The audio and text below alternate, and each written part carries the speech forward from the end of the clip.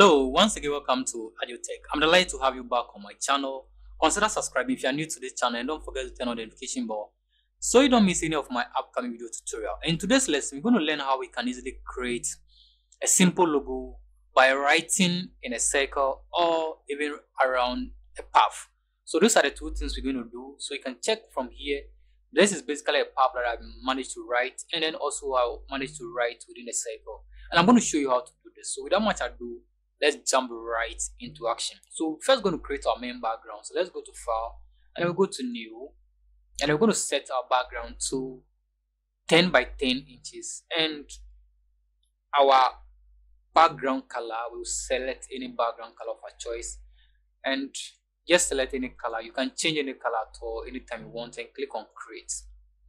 So we're going to stick to this background and we're going to go ahead and then to draw our circle in order to do this we're going to use the ellipse tool. So from the shape option just select ellipse tool. And in order to get a perfect shape hold down shift whilst you drag depending on the version of photoshop you use. Drag it this way and it's going to give you a perfect shape. Let's change the background to white because of what we want to do. We just want to stick to that.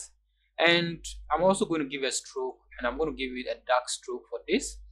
I'm going to increase the size a bit it's one pixels for now. So i'm going to increase it to around so i'm going to leave it around 15 okay then i'll hit enter to confirm this. So my pixels around this my stroke is around 15 pixels and that is my first shape. We need to get a duplicate of this shape. As you can see I have the main shape before the second one. So i'm going to have two circles in order to do this press alt on your keyboard and then just drag this circle and i'm going to give you a copy of that. So from our layer panel you can see we have a copy of another circle over here. We want to reduce this and then fit this into the middle. But before that let's make sure we have a guide and we can see the center of this.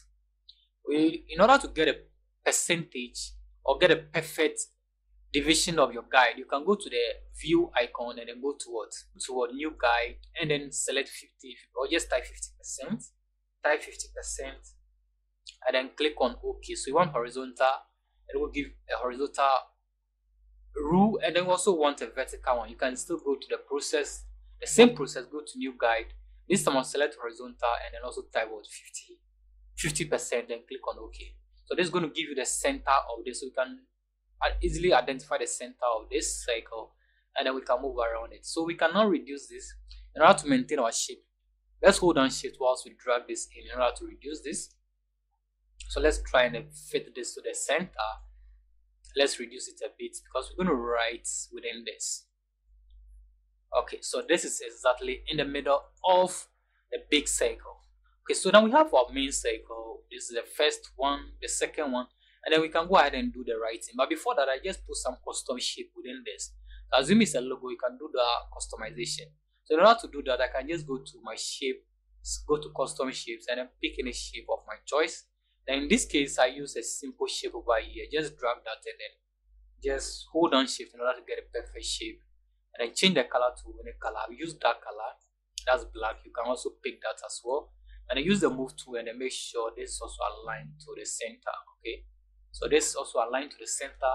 And then we can go ahead and do the writing. So this is a very important part you need to pay attention to.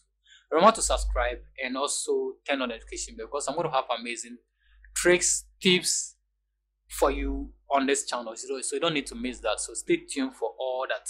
So let's go ahead and in order to do the writing within our circle we're going to go back to our shapes and then use the ellipse tool so pay attention to this. We are not going to go with the shape but rather we're going to use the path. So select the path and then we're going to make sure we drag this but we first need to drag around and then hold down alt. Whilst you drag hold down alt and then press shift in addition to give you a perfect circle. So drag this and then i think this is okay. So make sure you leave make sure you release your mouse first before you release your hand. So drag alt then it's going to pick it from the center but i want a perfect shift, so press shift in addition just drag this. If you are okay then release your mouse on this. Okay once you release your mouse then you can remove your hand also from the alt shift. So we now have this and we can go ahead and type. So do to do the typing we'll go to our horizontal type tool select that and then just click anywhere at all we want. And then we cannot type on this path. So you can see automatically fill my path with the default text but I don't want that. I'm going to type the text I want. So I'm going to say welcome to my YouTube or let me say AdjoTech YouTube channel. Okay so this is what we're going to do. And then we want this to move to the top part. So just bring your cursor to the beginning and then just press the space bar on your keyboard in order to move this to the top of your circle so let's press this and then until get to the top of your circle as you want. Okay. So i think this is perfect. You can reduce the font size if you want.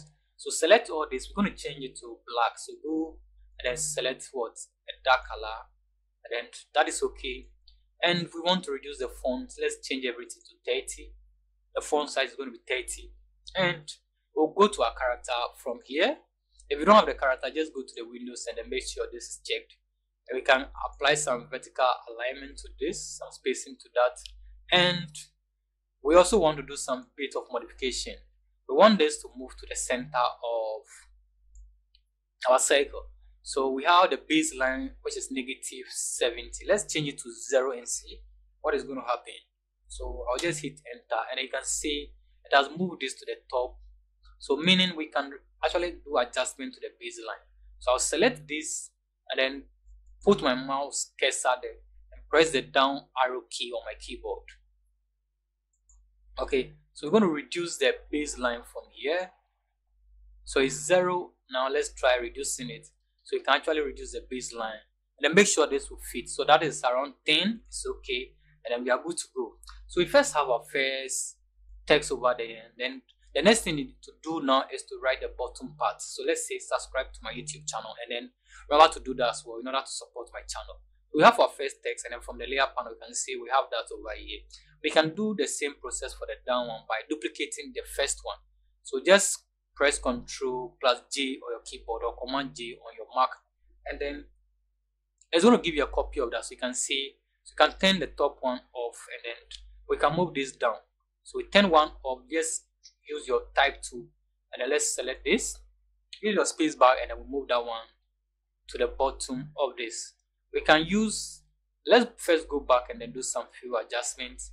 But let's go back and pick our path selection tool. And we have to do some few adjustments over here. We have some direction to our path. We can just move this around. Let's just move this around. You can see what is happening. This can easily do that modification for us yes i drag this here and then it's going to move the text down. Just use the arrow direction and everything to do that. So i can go back and turn back the top one and you can see it's actually showing up over there. We cannot do the mod modification to the rest of our text. You can just go ahead and then select this and then type what we want. So I can say subscribe. I say subscribe to my channel.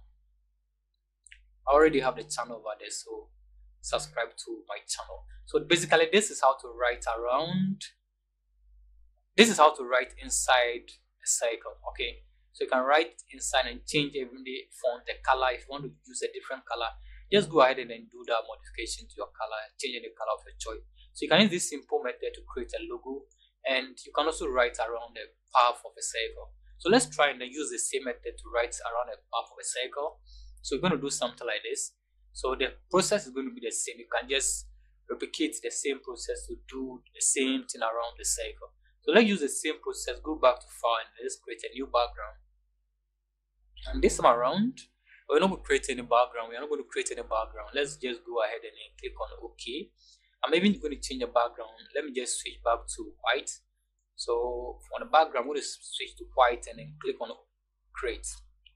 So this time around we just need a path so let's go to our ellipse to select that and then our path make sure the path is selected hold down shift and then just drag okay make sure you hold down circle. So hold down shift, drag this around, and it's going to give you this perfect circle.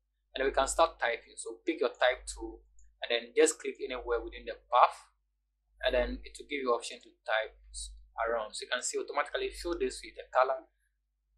Fill this with the text, but we can change the text as we want. So I can see can do the same thing say welcome. Welcome to my channel.